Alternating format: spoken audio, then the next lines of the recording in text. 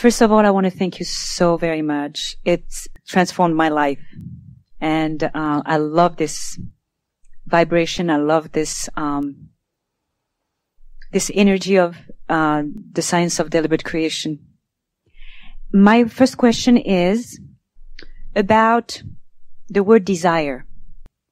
I live in I live in California, and I have been hearing from Eastern um, Indian masters that the word desire. Um, I don't know how to explain it. That that there is. Um, I don't mean to, to, to judge it, but I sense a judgment of the word desire, and I would love some clarity. The, if your choices were desire, full of resistance and being torn apart, or contentment with no resistance feeling better, we would then understand why you might choose a softening of desire for the sake of alignment of energy. And so if alignment of energy were only possible by releasing desire, then we could understand why some would make that choice. We would never make it, but we could understand why some would. But when you understand that your alignment of energy can be achieved by bridging your belief so that it matches your desire, we think that third choice puts you in a different arena. And we think that those who say a releasing of desire is necessary for an appoint, for the purpose of aligning energy have never worked with bridging their beliefs. In other words, they, they do not understand that alignment is possible and they have forgotten temporarily why they came forth. There are a few misassumptions that are at the basis of that. Many assume that physical man is here being tried they do not understand that you are here as creators. Hardly anybody understands that contrast is essential for a new idea and that new idea is the reason this arena exists to begin with. And so there are a lot of things that you must understand before you would be willing to endure contrast for the purpose of a new idea. We certainly understand. You see, the, the same misunderstanding is what makes people believe that they have to control all the conditions before they can be joyful. If you are observing bad things which make you feel bad and you want to feel good and you believe the only way you can feel good is if those bad things go away, then it is obvious why you want to get rid of those bad things. But when you understand that you cannot create in the experience of another and it's not your job to eliminate experiences. And even if you wanted it to be your job, you could spend a thousand lifetimes and never make any headway at it. Finally, we say it is oh so much better to go with the flow.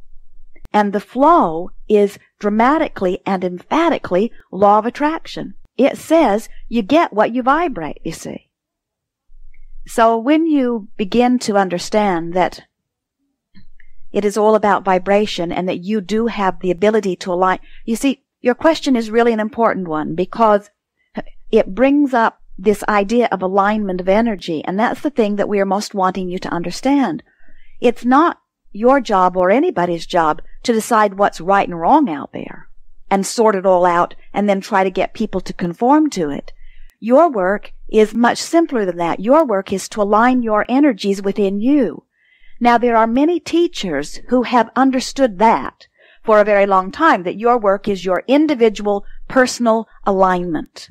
And they have discovered through a lot of trial and error that it is easier to align my energies by releasing my desires, especially if I can convince myself that they are frivolous or wasteful or selfish desires, and align with that old belief of me being humble and meager and not enough, we agree. In other words, if, if we were, if our goal was to get all of you just to align your energies individually, we would say the faster you all give up your desires, the better. In other words, if somebody calls you on the telephone and says, hello, you don't know me, I will never call you again, you'd say, who cares? And many of those religions would say, ah, you are now in alignment, for you do not care. But we promise you, you have come forth to give birth to desires, and your work in aligning your energy is to align with desire. So here's the way it goes. You examine contrast. Through the contrast, a new desire is born. You give your attention to your desire. You practice it until it's familiar. You feel ease as it becomes more familiar. You step into a new place and it manifests. And now you have a whole new platform of contrast. And so you evaluate the contrast, a new desire is born. You give your attention to the desire, you practice it until it becomes familiar, you step into a new place, and it manifests. And now you have a whole new platform of contrast from which to give birth to new desire. You see. So what they are saying is there is no motion forward. You're standing where you are. Somebody else is making all of the decisions for you, which means there was no real reason for you to come forth if somebody else is making all the decisions anyway. And your work is just to stand here forever and make this spot the comfortable spot that you want to be. So as you examine contrast, don't allow a desire to be born. Because if you should allow a desire to be born, now you won't be in balance anymore.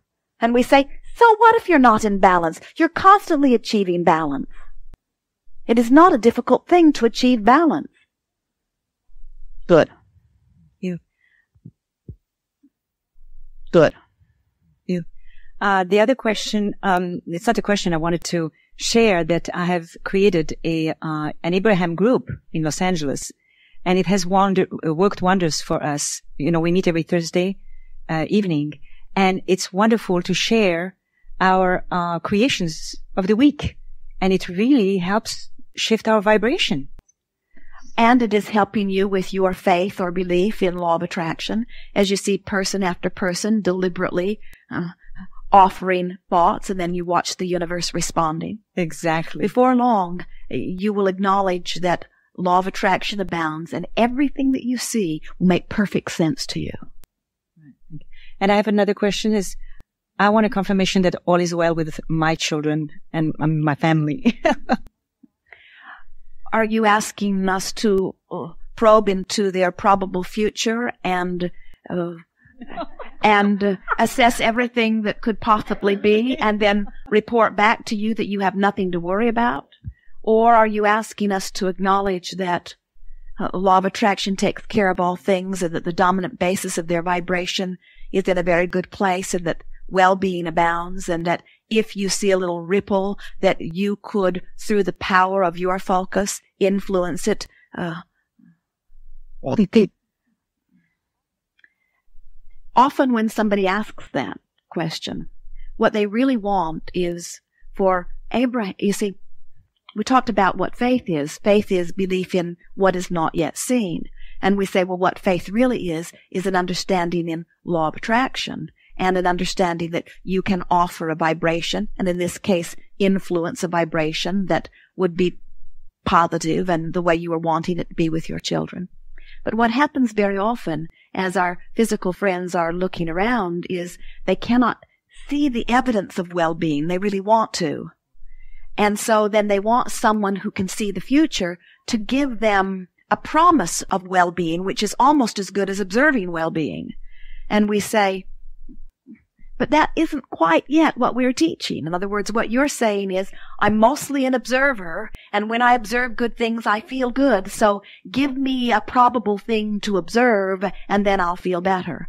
And we say, we're happy to reassure you, but we really want you, we want you to find your, your sense of well-being.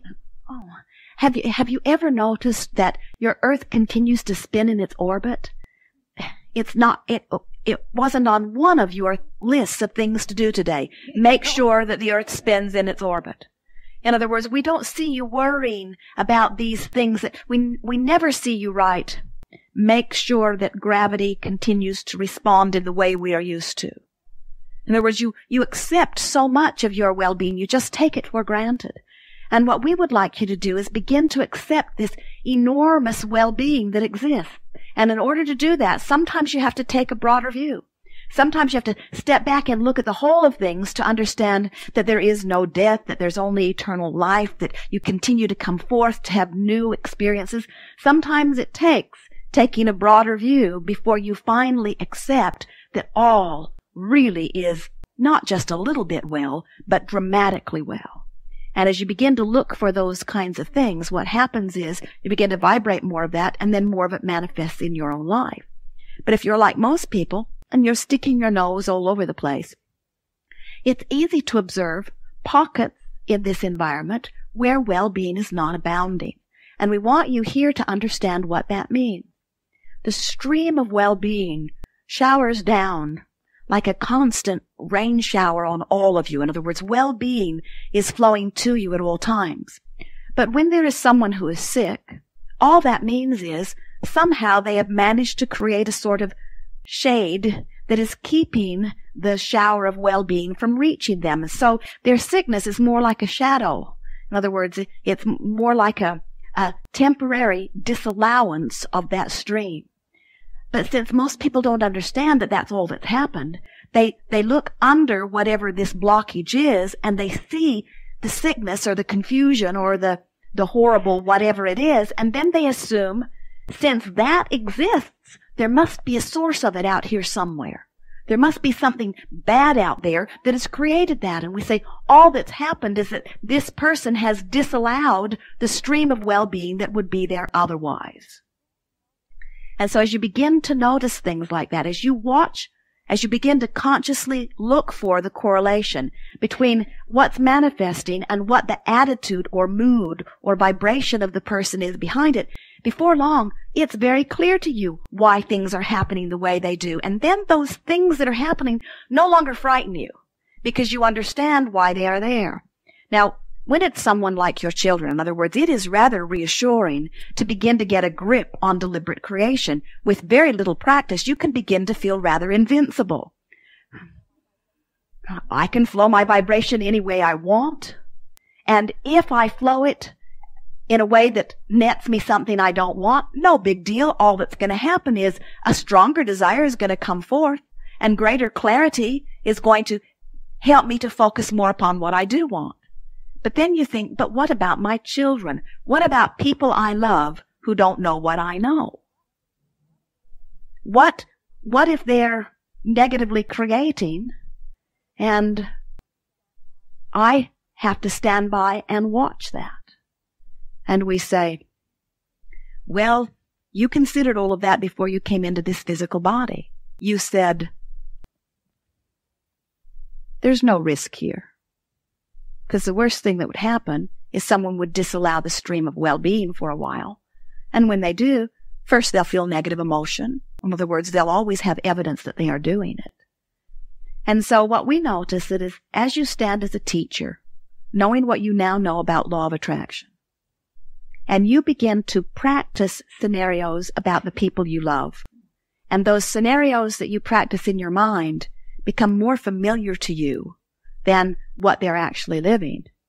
What begins to happen is, especially when they are around you, they begin to feel greater clarity. They begin to feel greater strength. Some of them even begin to verbalize by asking you what you know. As you begin to live what you are learning and knowing, all around you good things are happening so that those people who are accustomed to interacting with you cannot help but notice that things are usually turning up pretty good for you and often they begin to say, what do you know that I don't know? If we were standing in your physical shoes, we would not run around trying to make this some metaphysical magic. We would not talk about some non-physical guru who is giving you the seeds or the keys to deliberate creation. We would just say, hey, I'm happy. And the happier I am, the more good things come. And I found out that I can focus in my mind and make myself feel good. And the better I feel, the better my life gets. And if they say, but that's not realistic, say, I don't care. It's working for me. In other words, don't try to teach some, some big magical thing that's going to make them resist because the more fanciful you tell them you, you are, the more they want to drag you into reality, you see. And what you're wanting to do is just be blissfully successful in your deliberate creation and know that the contrast of their experience will produce an environment for them to eventually achieve the same.